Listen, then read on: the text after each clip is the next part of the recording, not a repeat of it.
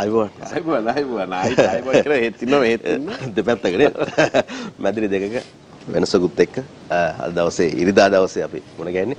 අසංකය උදේම ප්‍රධාන පුවත්පත්වල තොරතුරු ගොඩක් කතා කරානේ අනිවාර්යයෙන් අමරක් විතර.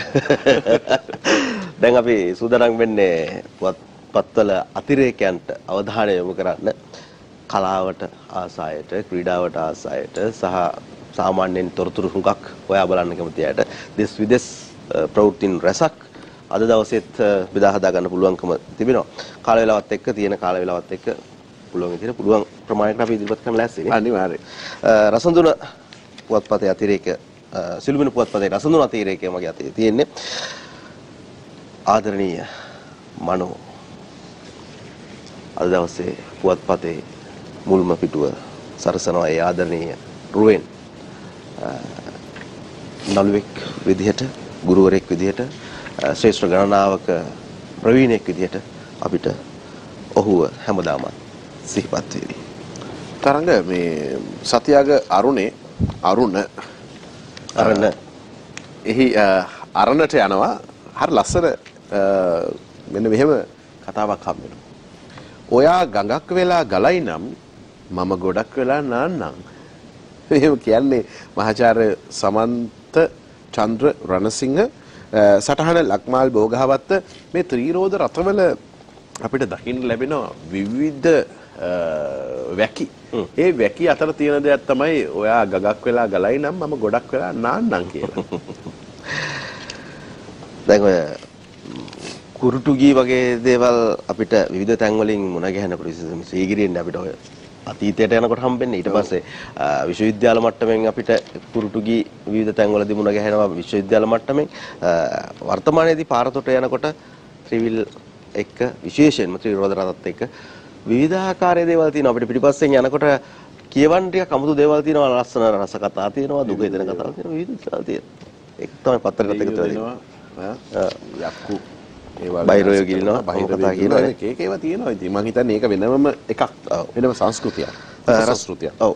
සංඝ රසදුන අතිරේකයේ මගේ අතේ තියෙන වෙලාවේ අපේ ප්‍රතිභාපූර්ණ රංගදරයා පිළිබඳව මා මුල්ම ඡායාරූපයත් එක්ක මුල් පිටුව පෙන්වනකොට එතුමා පිළිබඳව පිටුවක්ම සඳහන් කරලා තියෙනවා. පිටුවක් පුරාවට සඳහන් කරලා තියෙනවා.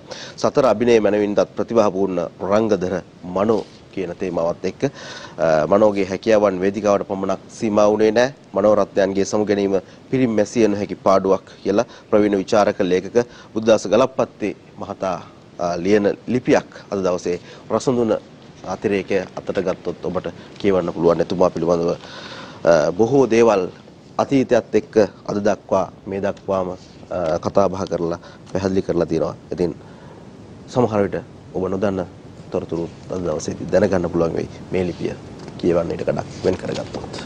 තරංග මේ විශේෂයෙන්ම මේ විතමුවත් පතෙත් කවරේ වෙන් වෙලා තියෙන්නේ ආචාර්ය ජයරත් මනෝරත්නයන් වෙනුවෙන්. හැබැයි මම යනවා ගීයක වරුණ කියන කොටසට මේ විතේ 10 වෙනි පිටුවට මේ ඔයාට මතකද පළඟු මැනිකේ? හ්ම්. මැනිකේ අත්තරායක. ඉතින් ඇය කැමැතිම ගීය. ඇය බොහොම වේග රිද්මේ ගීතවලට කැමැති බොහොම සතුටින් ගත කරන විනෝදකාමී චරිතයක්. නමුත් ඇගේ කැමැතිම ගීයේ බවට පත්වන්නේ සදාකාලික නොවූ ලෝකයේ සදාකාලික ප්‍රේමයක්. ඇය වැඩියෙන්ම මේ ගීතයේ සිද්ගත් කොටස විදිහට නම් කරනවා එදා ළඟ සිට දුටුව ඔබ නොව මෙදා දුර සිට මා දකින්නේ සදාකාලික නොවූ ලෝකෙ සදා කෙලෙසද පෙම් බඳින්නේ. කතාව ඇත්ත. මෙන්න එම ඡායාරූපය සහිත මීවිතේ කොටස. මැනිකේ අත්තනායක. මම හිතන්නේ අවුරුදු ගාණක් ගිහිල්ලත් ඇය පිළිබඳ මතකය තවමත් තියෙනවා. ඇය වැඩිපුර රංගනයේ දකින්න නොලැබුණත් ඇය බොහොම සමීපයි. රූපවාහිනී ආරම්භ වූ යුගයේ 80 දශකයේ මුල් භාගයේ පළඟු වනිකේ වැනි නාට්‍යත් එක්ක ගොඩක් සමීප වෙච්ච චරිතයක්. ඒ විදිහට අපිට සමීප වෙච්ච චරිතයක් පිළිබඳව අසංග කතා කරනකොට මටත් රසඳුන අතිරේකයෙන් මුණ ගැහෙනවා. ඒ වගේම අපිට ගීතෙන් ආමන්ත්‍රණය කරපු ආදරණීය කෙනෙක් ගැන කතා කරන අවස්ථාවක් උදා කරගන්න.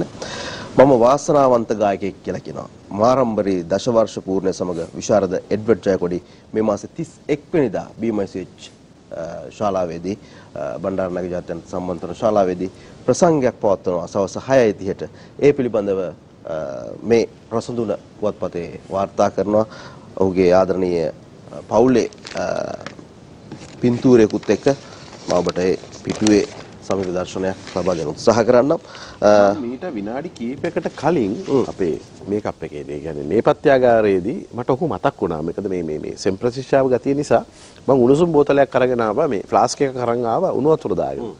මට ඔහුව මතක් වෙන්නේ මම පුංචි කාලේ විවිධ ප්‍රසංග නරඹන්න ගියාම එලිමහන් ප්‍රසංග නරඹන්න ගියාම ඉතින් කලාකරු බෝ ගායකයෝ ජනප්‍රිය ගායකයෝ පැමිණෙනවා ඔය එච්.ආර්. ජෝතිපාල මහත්මයා එම්.එස්. ප්‍රනාන්දු මහත්මයා මේ විවිධ ශිල්පීන් පැමිණෙනවා ටී.එම්. ජයරත්න මහත්මයා මේ අතර එඩ්වඩ් ජයකොඩි මහත්මයා අනෙකුත් ගායක කණ්ඩායම් සහ ඒ ජනප්‍රිය ශිල්පීන් විවිධ විදිහට ප්‍රසංගයට කලින් විවිධ දේ පානය කරද්දී ඔහු තේ අරගෙන ඇවිල්ලා ඒක පානය කරලා තමයි ප්‍රසංගයට යන්නේ. ඒ නිසා ටිකක් වෙනස් ආකාරයේ පුද්ගලෙක් තවමත් පවතින ඔහු තමයි අධ්‍යාපන අමාත්‍යංශයේ සිංහල සංගීතය අපස උසස් පෙළ අපස සාමාන්‍ය පෙළ විභාගයේ ප්‍රශ්න පත්‍රය පවා නිර්මාණය කරන්න ඒ නිසා අධ්‍යාපනය අතින් සංගීතයට බොහෝ සේවා කරපු කෙනෙක්. දිනපතා අලුත් වීඩියෝ සහ ප්‍රවෘත්ති නැරඹීමට ඉහත බටන එක ක්ලික් කර සියත TV සබස්ක්‍රයිබ් කරන්න.